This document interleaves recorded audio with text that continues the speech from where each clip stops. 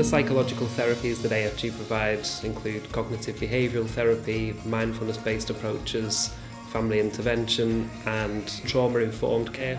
Throughout my time with AFG, I've worked in a number of our different treatment and recovery centres.